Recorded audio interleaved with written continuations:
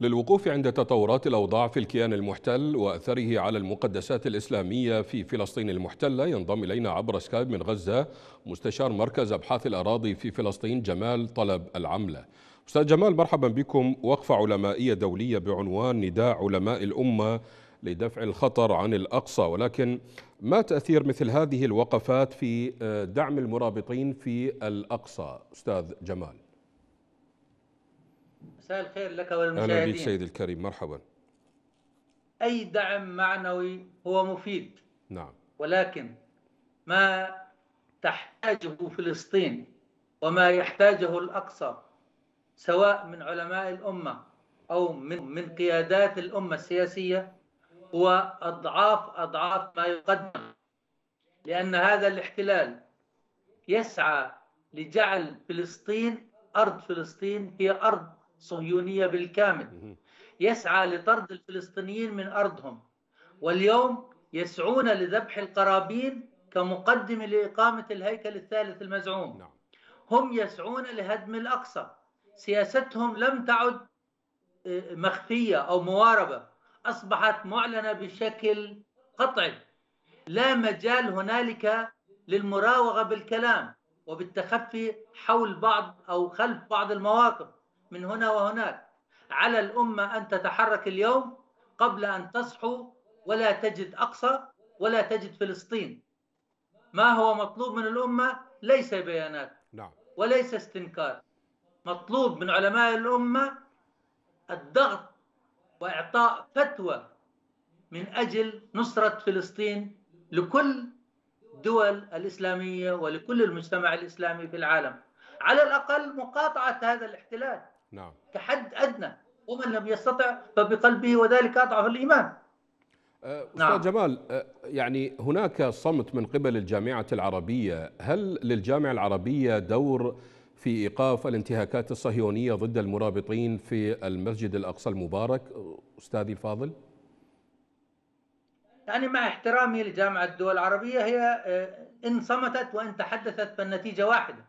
لأن دائما نسمع مواقف الاستنكار واعتبار هذا يعرقل عملية السلام وهذا مخالف للقرارات الشرعية الدولية. صحيح ومواقف الجامعة الدول العربية أنا أستطيع أن أقولها لك من اليوم أن كل ما يجري هو خطأ. صحيح لكن هل هذا هو المطلوب؟ ما قلته عن بيان مجلس العلماء الأمة ينطبق على جامعة الدول العربية بل أن جامعة الدول العربية مطالبة بما هو أكثر من ذلك. لأن وجود هذا الكيان الصهيوني في قلب العالم العربي يستهدف العالم العربي بكامله. يستهدف يستهدف كافة الدول العربية والأقطار العربية لمنع توحدها ولمنع التنسيق بينها ولمنع العمل الموحد بينها سواء سياسيا أو اقتصاديا أو اجتماعيا. بالتالي هم أيضا مستهدفون وعليهم الدفاع عن أنفسهم. أستاذ جمال يعني نبقى في نفس الموضوع ولكن في شق آخر. كما تعلمون قوات الاحتلال تقتحم المسجد الأقصى المبارك وتخليه من المعتكفين داخله. في ظل هذه الانتهاكات المستمرة من قبل القوات الصهيونية.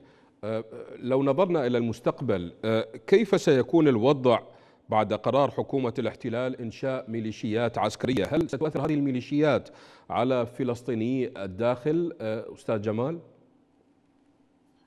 نعم في ظل أن هنالك مطالبات دولية وعربية بتخفيف الضغوط على المصلين الفلسطينيين والعرب والمسلمين في القدس وفي المسجد الأقصى خلال شهر رمضان. نعم.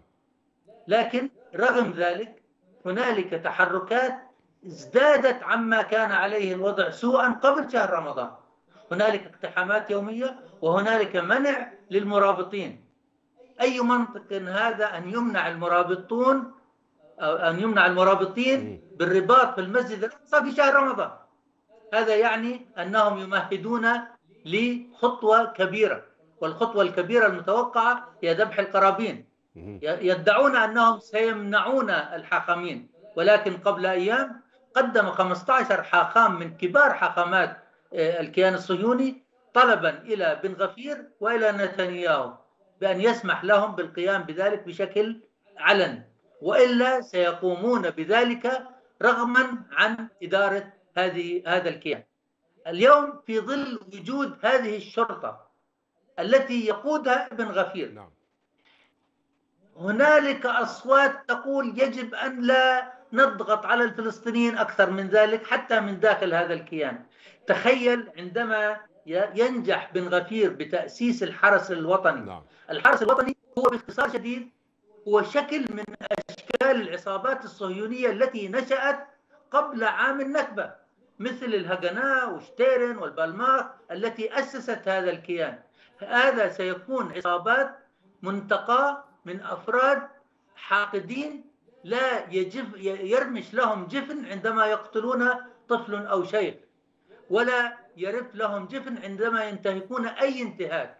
ويقودهم رجل معروف بإجرامه ومحرض على القتل وله سوابق أصلا مدانة في القانون وفي المحاكم الإسرائيلية اللي هو ابن غفير وحليفه سموتريتش. طيب أستاذ جمال في في هذا الإطار في هذا الإطار هل تتوقع أن الحرس الوطني أو الميليشيات الصهيونية يعني في المستقبل القريب ستنفذ مجازر ضد الشعب الفلسطيني هل تتوقعون ذلك؟ أصلا هو تشكيلها من أجل ذلك م.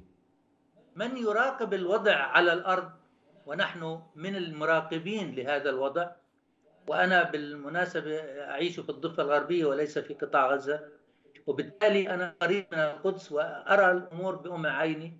هؤلاء يطالبون ويعلنون كل يوم بأن حل القضية أو قضية الصراع في هذه المنطقة هو بترحيل العرب كافة العرب من أرض إسرائيل. هذا ما يقولونه.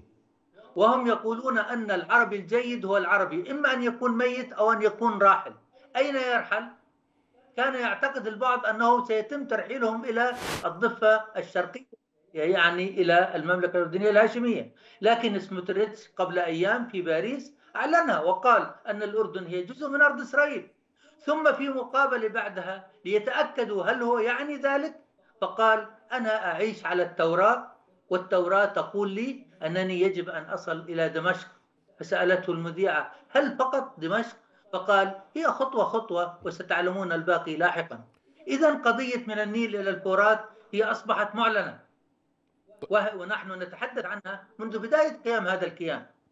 طيب أستاذ جمال أستاذ جمال هناك من هناك من هناك من يقول إن إنشاء الميليشيات داخل الكيان المحتل هي أن الحالة الأمنية في الكيان وصل إلى حد لا يستطيع نتنياهو السيطرة عليه، هل تتفق مع هذا التحليل؟ أستاذ جمال؟ لا أتفق معه لأن هذه هذا الحرس الوطني وهذه الميليشيات التي يدعونها ستكون مخصصة ضد الفلسطينيين سواء في المناطق المحتلة عام 48 أو في المناطق المحتلة عام 67 الخلافات الداخلية بينهم تستطيع الشرطة العادية القيام بها. لن تستخدم هذه الميليشيات ضد المجتمع الإسرائيلي مباشرة لأنها لو استخدمت بالعنف أو بالطرق التي يعتقد ستضاعف من الأزمة الداخلية في المجتمع الإسرائيلي. لكن هي سيلتقي عليها كافة الأحزاب الإسرائيلية ما عدا بعض الأصوات الصغيرة ويقولون هذه التي تحمينا من الخطر الفلسطيني هم يعتبرون أن الفلسطيني عندما يدافع عن نفسه عندما يدافع عن حقه يتحول إلى خطر تصور قبل أيام عندما حاول الطبيب من منطقة النقب نعم. الدكتور أحمد عندما حاول الدفاع عن فتاة يقومون بضربها وهي مجرد أنها سرقت من الخوف من ناحية ومن ناحية ثانية من الانتهاك والإهانة نعم. التي تعرضت لها. هو فز يعني فزعة نخوة شاب مسلم عربي واعتقد أن معرفته للغة العبرية والجنسية التي يحملها ستحميه. وكان يقول لهم أين رجولتكم؟ لماذا تضربون هذه الفتاة بهذا الشكل؟ وبهذه الطريقة اندفع نحوهم. فقاموا بقتله دون أن يرف لهم جفن. هذا هو الاحتلال نعم. هذا هذه الشرطة غير الحرس الوطني. فما بالك بالميليشيات التي سيؤسسها هذا المجرم بن غفير